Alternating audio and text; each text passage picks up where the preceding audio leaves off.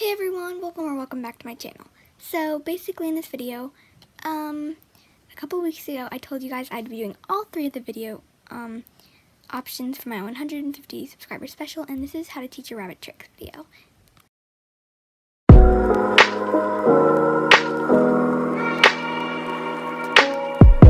So the first trick that we're going to be learning is come because come, um, to know all the other tricks you need to know come and it's the base of all of the other tricks. Okay, so the first step is to get your rabbit's treats, and I'm just using these, and that's really all you need for come.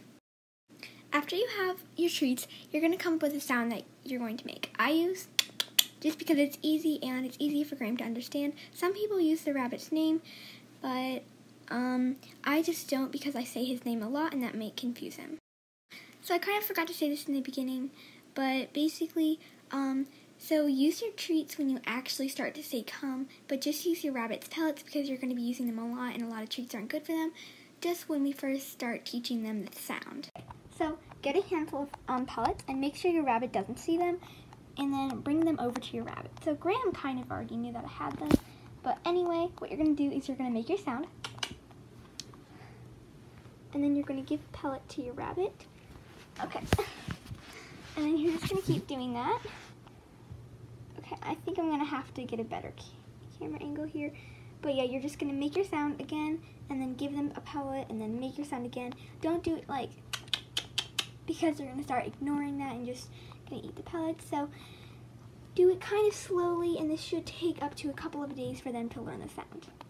Okay, so then once your rabbit knows the sound, and and you may be asking yourselves, well, how do I know my rabbit really knows the sound? So if you make the sound and they kind of like um, maybe they're like a couple feet away from you and they are getting really curious and they come towards you, then that means that they know the sound.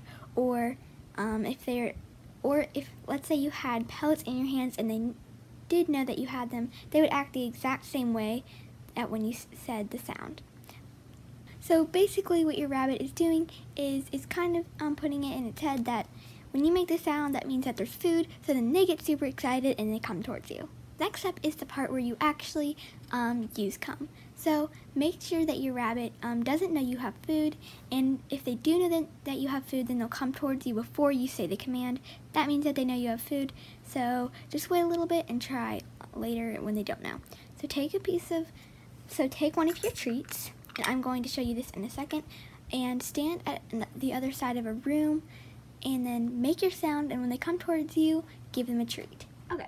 Guys, I have my treats and some of them spilled. I just need one. Oh. Okay.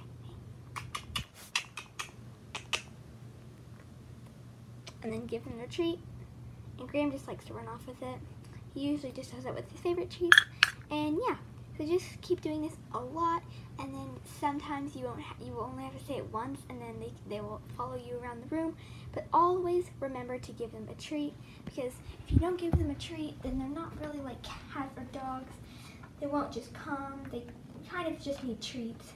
So um, yeah, that is how you teach your rabbit to come.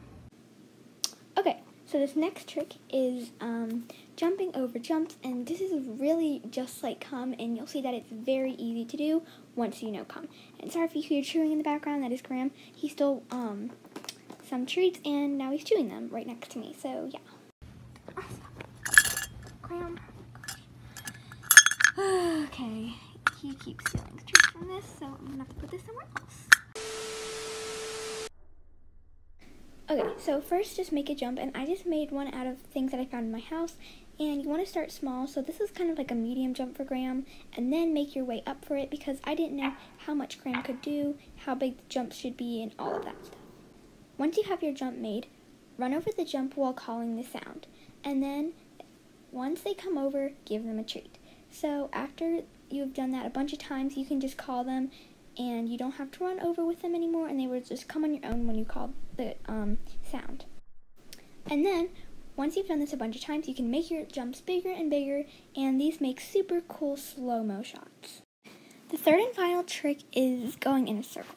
So Graham is still working on this trick. He's not the best at it, and I think it is probably the hardest for rabbits to learn out of the three of these. So I'm just going to be teaching you how Graham is learning and how you basically do the trick. Okay, so for circle, you're going to need your um, good treats, not your pellets.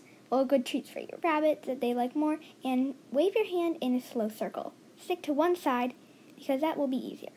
Slowly and slowly make your circle faster and faster, and then you can you will only have to flick your finger. So I can kind of do it with Graham, but when I do it, he only goes halfway through the circle, and then he kind of gets confused. Um, so I do have to help him with the rest of the circle, but he's still working on it. Um, but yeah, that's basically just how you do circle. And to make a rabbit go in a circle, you can either make your sound or you can wave the pellet in a circle. So guys, I really hope you enjoyed this video. I know Graham did um, when he was stealing the treats. And I hope your rabbits learn to do these tricks. It was super fun to do this. And also, I am going to start uploading more frequently. I haven't been uploading for a while because I just went on vacation. And it was super fun. Um, but yeah, I do have some really good video ideas, so stay tuned for that.